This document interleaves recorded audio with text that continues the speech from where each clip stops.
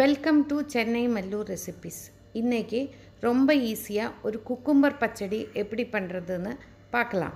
Cucumber ரோவாக தான் இந்த பச்சடிக்கு use பண்ணியிருக்கேன். அதனால ஒரு சாலட் சாப்பிட்ற பிரயோஜனம் கிடைக்கும். ஆனால் சாலடோட ரொம்ப டேஸ்டியாகவும் இருக்கும். இது எப்படி பண்ணுறதுன்னு பார்க்கலாம். இன்றைக்கி பச்சடி பண்ணுறதுக்கு எனக்கு இந்த மாதிரி குக்கும்பர் தான் கிடச்சிருக்கு.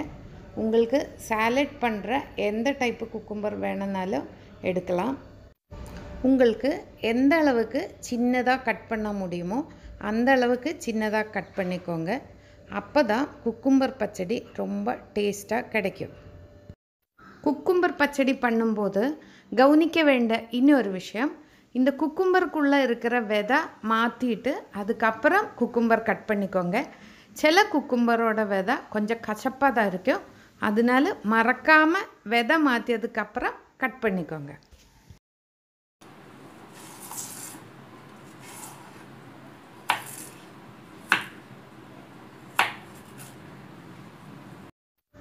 இந்த மாதிரி நீள வாக்கில் கட் பண்ணதுக்கப்புறம் சின்ன சின்னதாக கட் பண்ணி எடுத்துக்கோங்க.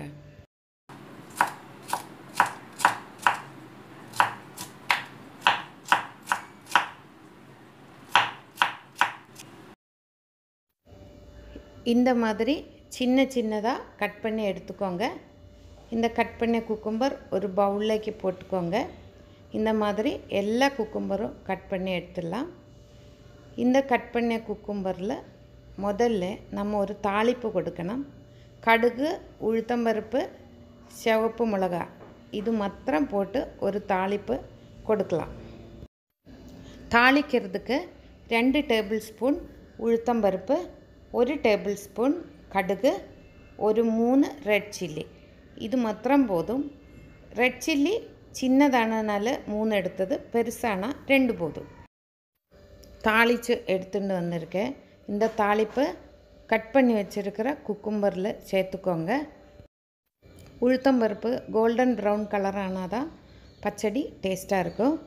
இவ்வளோ உளுத்தம்பருப்பு போட்டால் தான் பச்சடி ஒவ்வொரு ஸ்பூன் எடுக்கும்போது ஒரு பைட்டு கிடைக்கும் உளுத்தம்பருப்பு அதுதான் இந்த பச்சடியோட டேஸ்ட்டு ஜாஸ்தியாக்கிறது. தாளிப்பு சேர்த்ததுக்கப்புறம் நல்லா மிக்ஸ் பண்ணி விட்டுக்கோங்க.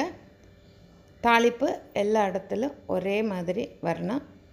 அதுக்கப்புறம் நம்ம எப்போ சாப்பிட போகிறதோ அதுக்கு ஜஸ்ட்டு முன்னாடி தயிர் உப்பு சேர்த்தா போதும்.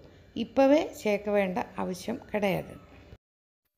இப்போவே தயிர் சேர்த்தா இந்த குக்கும்பரில் இருந்து தண்ணி ஊறி இது ரொம்ப தண்ணி ஆகிடும் இதோட டேஸ்ட் எல்லாம் போயிடும். இந்த பச்சடிக்கு நார்மல் சால்ட்டு யூஸ் பண்ணாமல் பிங்க் சால்ட்டு இல்லைன்னா பிளாக் சால்ட்டு யூஸ் பண்ணிக்கோங்க. அதுதான் ஹெல்த்துக்கு நல்லா இருக்கும் பிங்க் சால்ட்டு தான் நான் இன்றைக்கி யூஸ் பண்ணுறேன் பிளாக் சால்ட்டு யூஸ் பண்ணால் இந்த பச்சடி லைட்டாக கருப்பு கலர் ஆகிடும் அந்த வீடியோக்கு நல்லா இருக்காது. ஹெல்த்துக்கு நல்லதாக இருக்கும் இந்த பச்சடியில் பிங்கு சால்ட்டு சேர்க்க போகிறேன் உப்பு சேர்த்ததுக்கப்புறம் நல்லா மிக்ஸ் பண்ணிக்கோங்க. நல்லா மிக்ஸ் பண்ணதுக்கப்புறம் இந்த பச்சடிக்கு தேவையான தயிர் சேர்க்கலாம். தண்ணி இல்லாமல் நல்ல திக்கான தயிர் சேர்த்துக்கோங்க.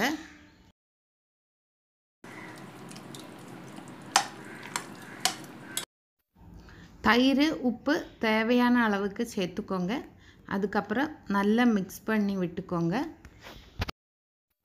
ரொம்ப ஈஸியான டேஸ்டியான குக்கும்பர் பச்சடி ரெடி இந்த மாதிரி நீங்களும் பண்ணி பார்த்து அபிப்பிராயம் சொல்லுங்கள் இந்த வீடியோ பிடிச்சிருந்தா லைக் பண்ணுங்கள் ஷேர் பண்ணுங்கள் சப்ஸ்கிரைப் பண்ணுங்கள் தேங்க்யூ